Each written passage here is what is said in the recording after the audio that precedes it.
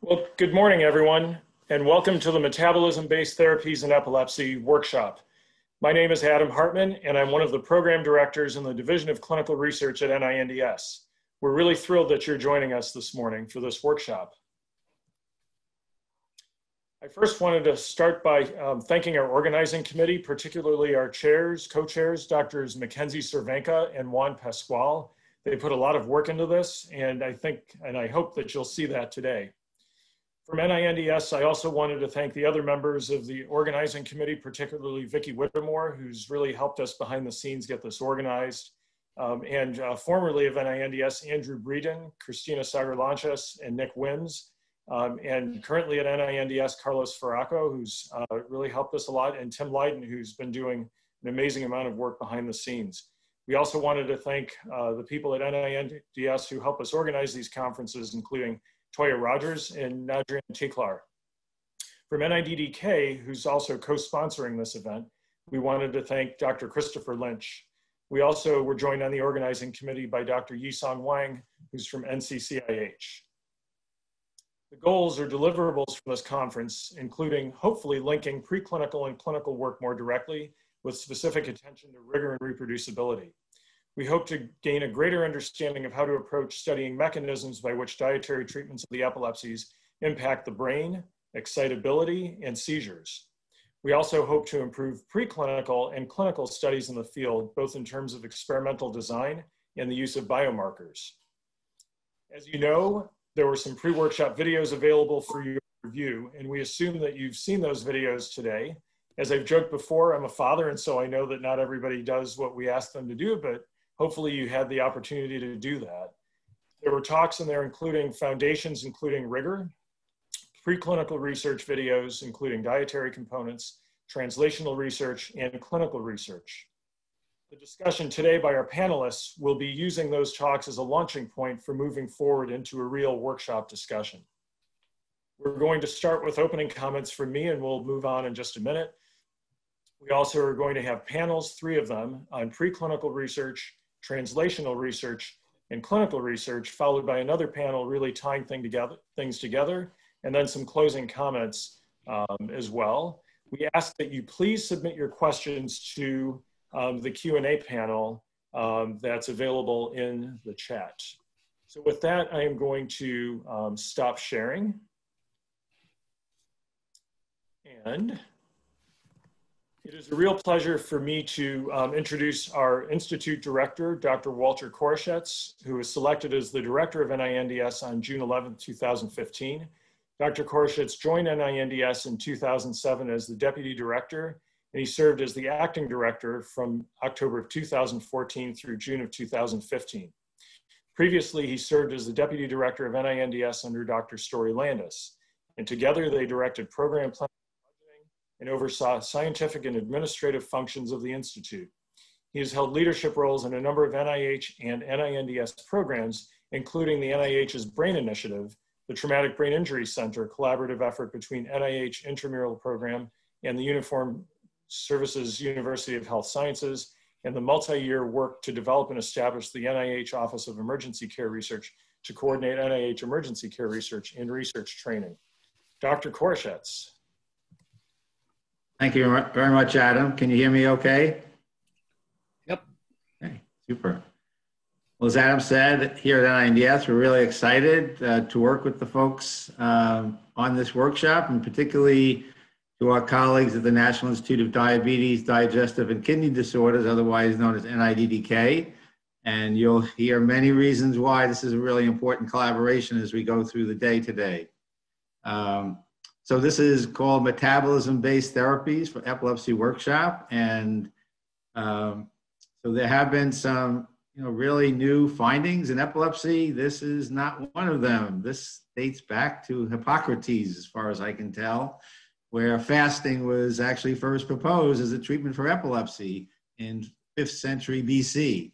But we really haven't really learned how it works um, or how best to institute it. Um, it kind of lay dormant uh, for until um, about early 1900s when a couple of docs also started to use uh, uh, fasting for epilepsy patients, reporting uh, interesting, good findings. And Stanley Cobb, Mass General, who was actually, uh, in those days, neurologists, psychiatrists were really in, in, in, indistinguishable. He was actually the chair of psychiatry at, uh, at Mass General. But anyway, he started working in animals and treating um, children um, with Lennox, um, a famous epileptologist, uh, with uh, um, fasting, identified acidosis as a potential uh, mediator, increase, along with increased uric acid of, of the decrease in seizures that occurred.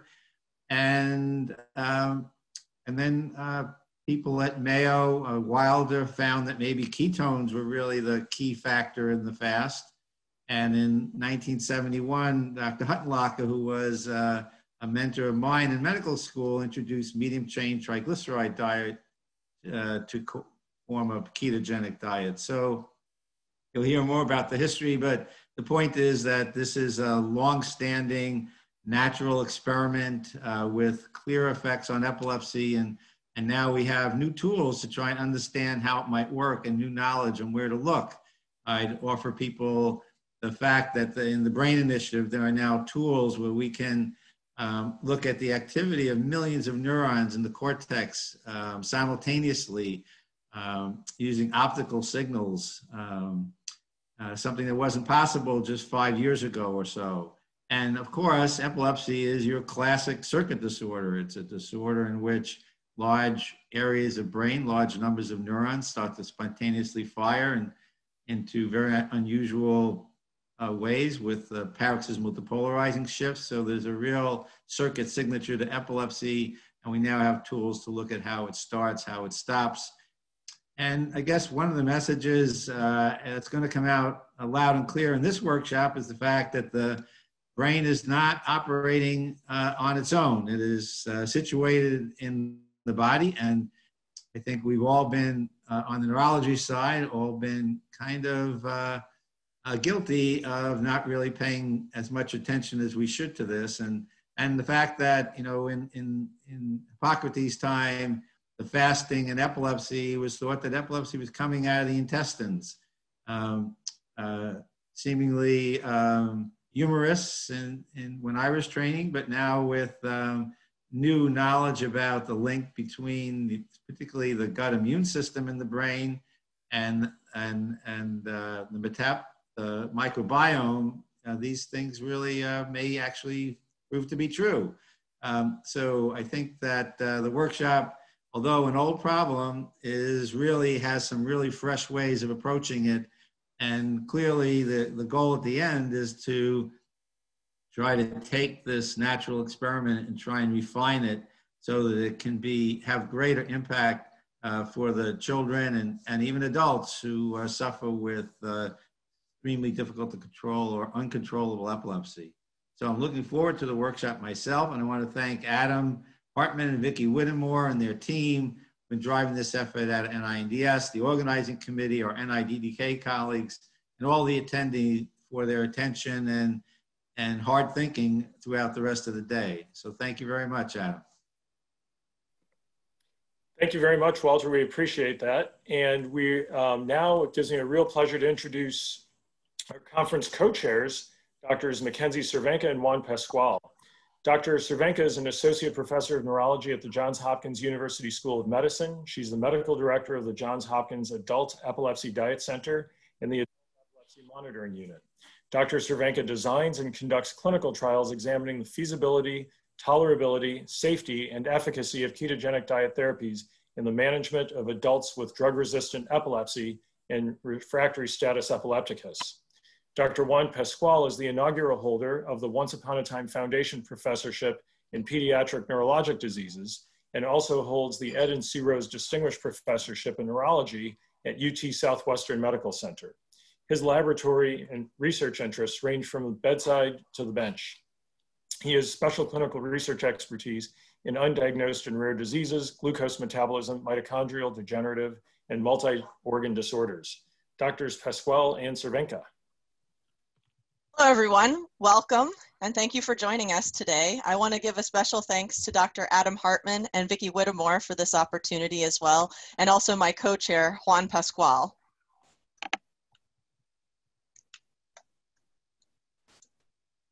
Here are our disclosures. And I think that Dr. Koroshetz just gave a beautiful uh, overview of the history of metabolism-based therapies for epilepsy. And I just want to add to that by highlighting a few important points.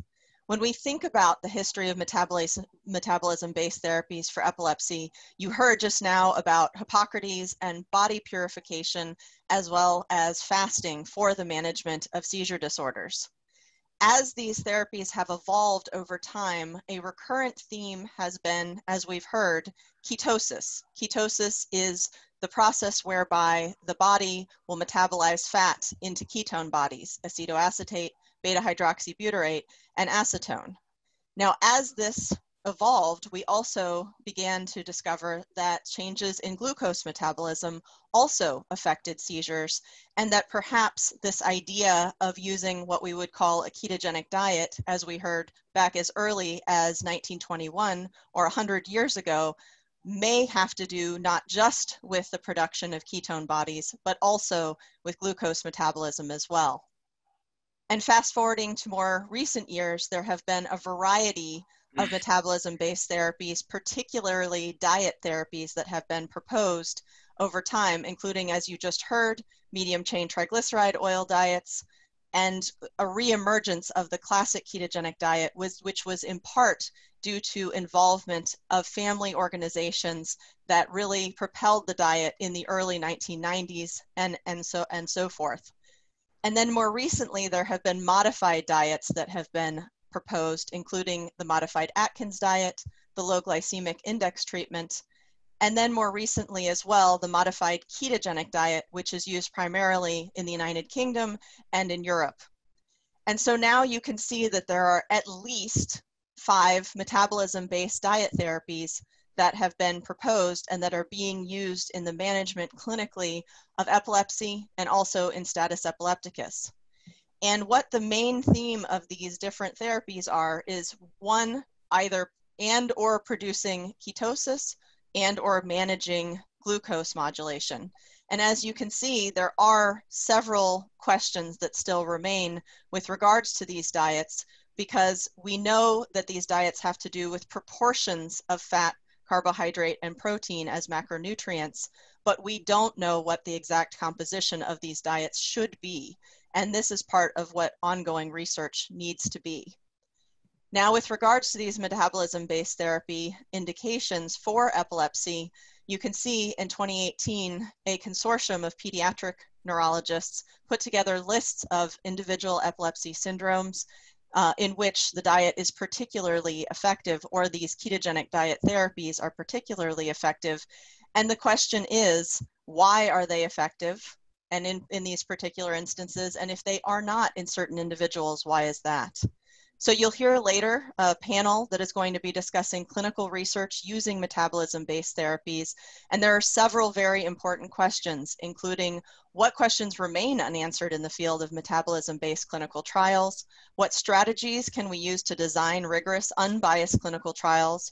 What tools are available, and particularly through NIH, with regards to designing these trials, and what clinical trial designs can be used that also inform mechanistic discovery. And so I'd like to now turn it over to my co-chair, Dr. Juan Pascual, to talk more about this mechanistic discovery. Thank you.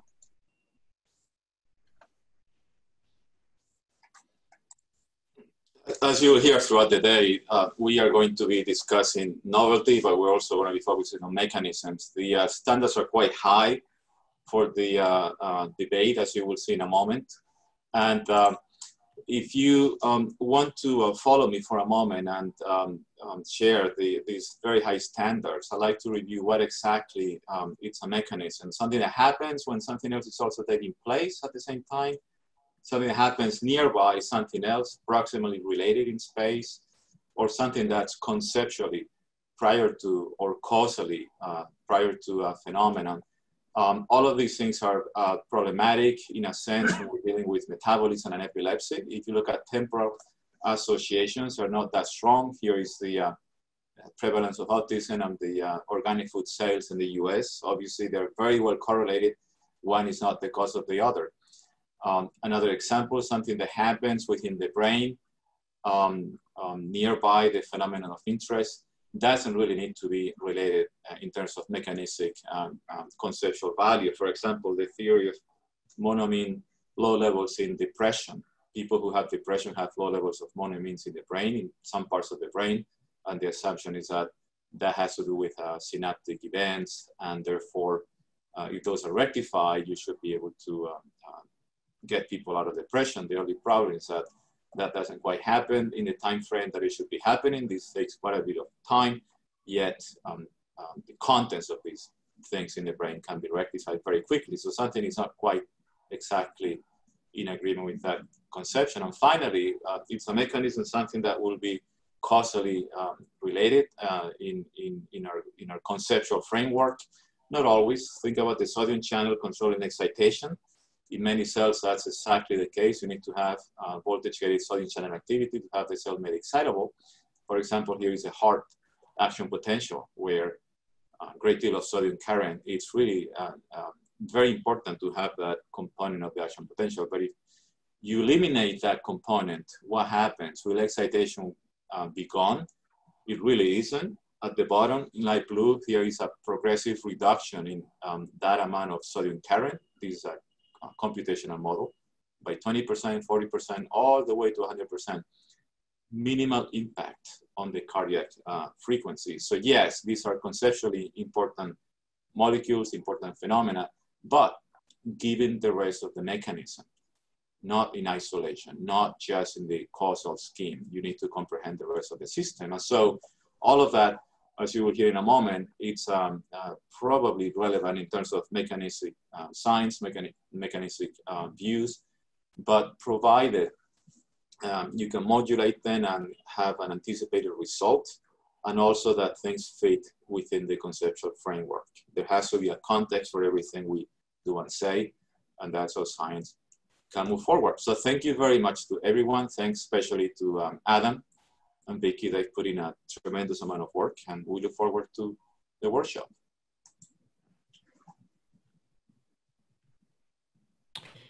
Thank you very much. That was a wonderful uh, setup and a wonderful framing for, um, for the rest of the discussion. So uh, next, we're um, pleased to welcome Doctors Devon Crawford and Shai Silberberg. Dr. Crawford is a scientific program manager in the Office of Research Quality at the National Institute of Neurological Disorders and Stroke where her primary focus is on improving experimental rigor and transparency in the broader biomedical research community.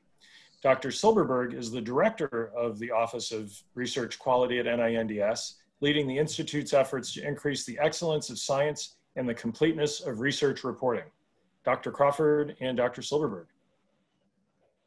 Uh, thank you very much, Adam, and also the other organizers for having us. Uh, we're very happy to be here today, and hopefully everybody watched the pre-meeting recordings, but uh, for this small session, we are just going to reinforce the importance of rigor and transparency in research. But first, I wanted to introduce our office, the uh, um, NINDS Office of Research Quality where we work to improve uh, rigor and transparency in biomedical research. In addition to myself, we have John Rohde, a AAAS fellow who recently joined the office, as well as the director, Shai Silberberg, who is here today both in this session and will be a part of some of the panels later today.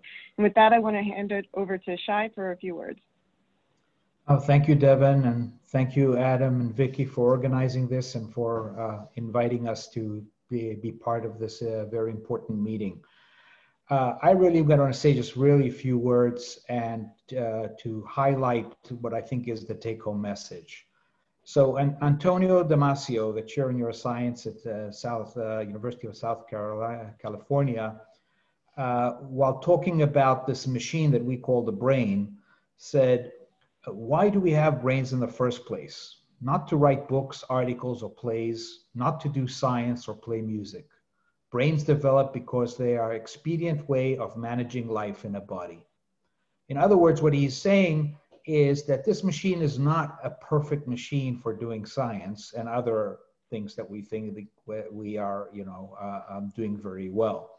So if I could have the next slide, please. And I think this is was best said by Emo Philips, uh, who said, I used to think that the brain was the, one, the most wonderful organ in my body. Then I realized who was telling me this.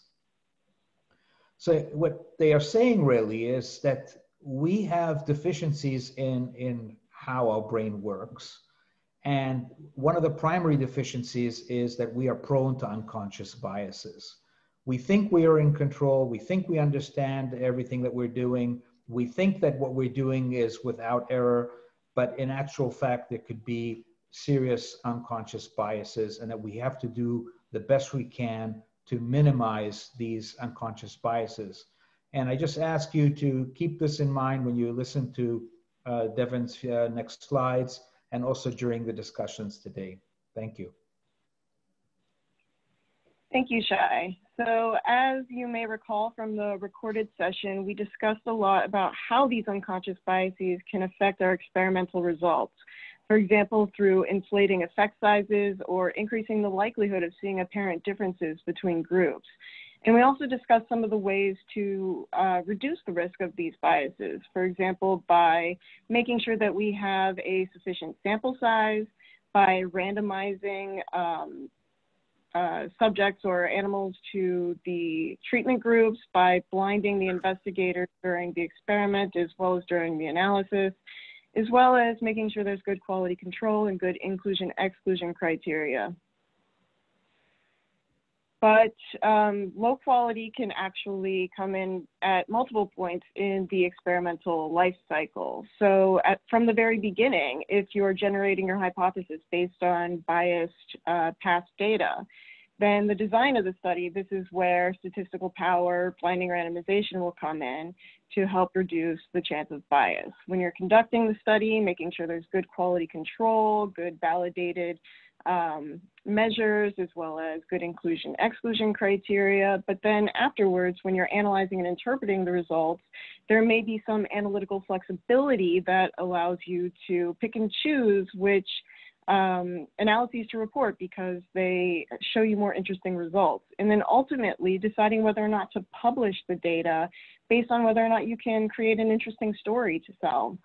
And then that leads to there being biased data in the literature for generating the next hypothesis. So you can see how this cycle can go round and round, uh, weakening the strength of scientific evidence in the literature. And ultimately, these things can come together to undermine our ability to translate from basic research to human treatments. And here I'm just showing an example from uh, ALS drugs. And so all of these drugs here failed in human clinical trials, except for the first one that's FDA approved. And these clinical trials had been based off of preclinical um, animal model studies that showed survival benefits with each of these drugs, which you can see by the blue bars that extend out to the right. But these early studies, some of them had low sample size, or it wasn't clear if they blinded or randomized, or if they had good inclusion exclusion criteria. And so the ALS Therapy Development Institute came along and redesigned these studies and tested all of these drugs over again except with at least 25 mice per group, the ALS mouse model using the same model. Um, they included blinding and randomization and had clear inclusion exclusion criteria. And what they ultimately found was negligible effects of these drugs on survival in the mouse model, which matches what we saw in the clinical trials. Now imagine how much time, money, and patient risk could have been avoided had the original animal studies just been performed more rigorously. And so um, fixing rigor in early studies may not be a panacea for fixing translation from animal models to humans, because there are a lot of other issues as well. But it is a necessary first step to have rigorous preclinical studies if we don't want to be led astray during translation. And I'm not saying that all researchers need to be, you know, perfect. Um, and we may be starting from different levels of research quality based on the type of experiments we're doing. If we're doing discovery research or we're doing clinical trials, we may be at different points um, in the design of the study. I'm just saying that as researchers, we should be always trying to improve. And so if everybody just decides to do one change in their experiment, then the next study that they do to make it a little bit more rigorous, then over time, everyone um, will be doing more rigorous research and it will shift research quality to the right to more rigorous overall research. Um, and so uh, we can all be working towards improving rigor and quality of our research and translation. And with that, I just wanted to leave everybody with some resources. Don't worry if you don't have time to write these down because the session's being recorded. You can go back and look. But NIH has multiple resources on rigor and transparency, as well as information on rigor items that should be in every single NIH grant application. This includes the rigor of the prior research that you're using as your key support for the application, the rigor of your proposed research in that application, including consideration of biological variables like age, sex, and weight, and how that might be affecting your data, as well as in a separate section, authentication of your materials, making sure things like your cell lines and your reagents are what you think they are. And NINDS also has some resources um, the link here is to our Office of Research Quality if you wanted to learn more about us.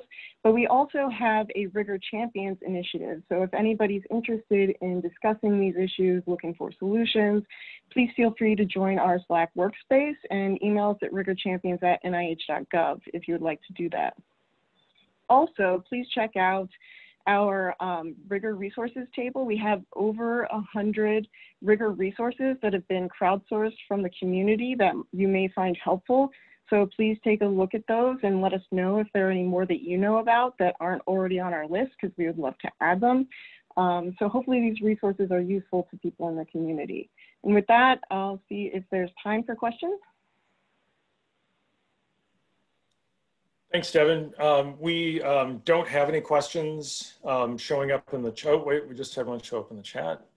Um, so here's a question for you. Um, should research applications also address nutrition as a biological variable in ubiquitous environmental exposure?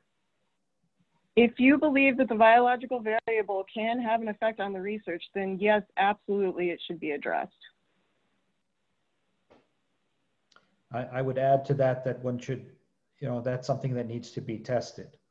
Um, mm-hmm. There are interesting studies, you know, one of which just came out um, that that showed how uh, the environment the animals are kept in actually had minimal impact on on the outcome of the study. Uh, so I think all these things have to you know, be tested before one decides this is very important or that's you know not important. And of course, that would change under different circumstances. And I would always err on the side of being transparent about what those conditions are, especially when you're reporting out in your papers, because it may or may not have an effect on the research, but we want to be able to go back and test those things in the future if it becomes an issue.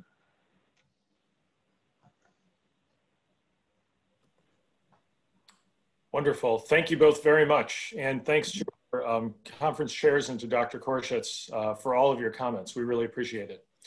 We've built in a few breaks um, into the uh, uh, webinar, into the workshop. We know that it's um, these are trying times. And so uh, what we're going to do is uh, reconvene again with our preclinical panel at 1140. So in about 10 minutes, um, go ahead, stretch your legs. Um, take to take the dog out really quickly if you want to, and uh, we'll see you back at 11:40. Thank you.